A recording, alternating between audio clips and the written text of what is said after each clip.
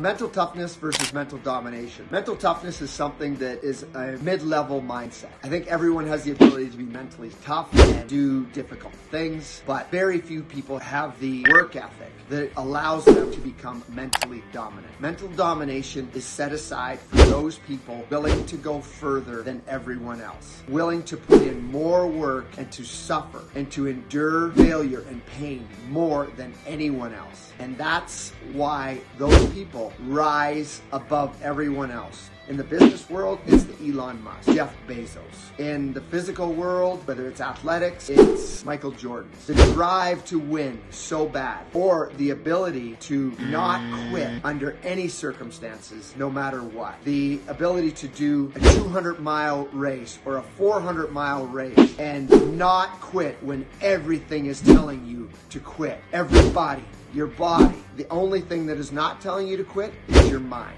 That's a state of mental domination. And it's set aside for the cream of the crop, the top less than 1%. But I believe that everyone can get there, but they must do years and years of becoming mentally tough in order to achieve that goal.